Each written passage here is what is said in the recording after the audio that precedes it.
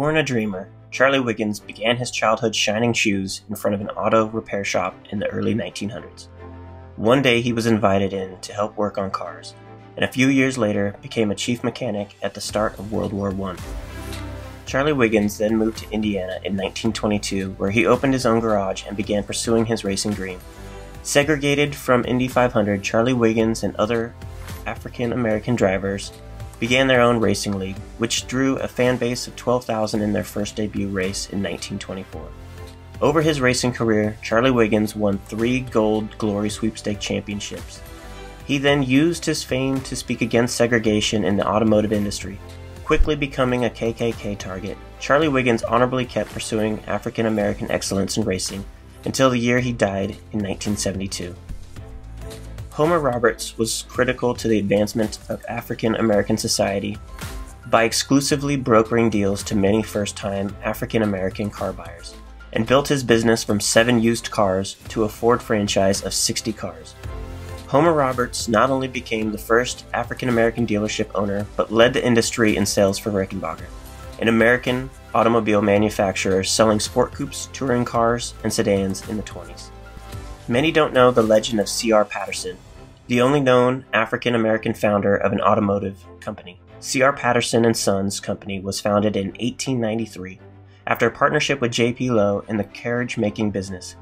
C.R. Patterson is the epitome of rags to riches, as he was born a slave in a West Virginia plantation in 1833. After escaping to Ohio in 1862, C.R. Patterson began to learn blacksmith trade skills that would then develop into the automotive trade he took upon later in life. C.R. Patterson and Sons were direct competitors to newly established Ford, and without the same funding, C.R. Patterson switched his focus to manufacture trucks, buses, and other utility vehicles. C.R. Patterson and Sons became the go-to brand for buses in Midwestern school districts that had recently converted from horse-drawn carriages in 1920. The C.R. Patterson and Sons Company bus made headway in helping school districts across the country convert from traditional horse-drawn carriages to one of the very first combustion engine vehicles and led the way to the transportation we see in businesses and schools today. Garrett Morgan is a contributor to one of the most important pieces of technology we use in our daily driving to this day. Before Garrett Morgan had a hand in traffic light space, traffic lights used to switch from green to red without warning.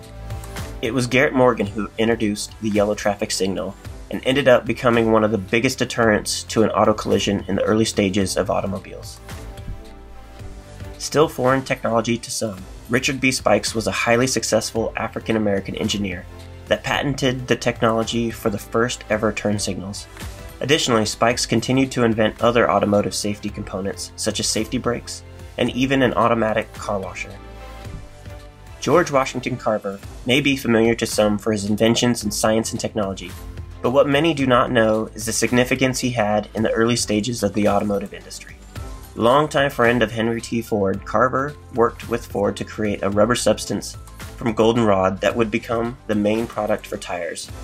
His research went on to fuel several other automotive initiatives, and we are thankful for the hand he had in building automotive components for the industry. Wendell Scott served in the segregated army in World War II, and came back to open up an auto repair shop. Wendell had inherited his love for automotive from his father, who worked as a driver for wealthy white families. Once Wendell came back from the war, he found himself illegally running moonshine in the back roads of Virginia until he was stopped in 1949.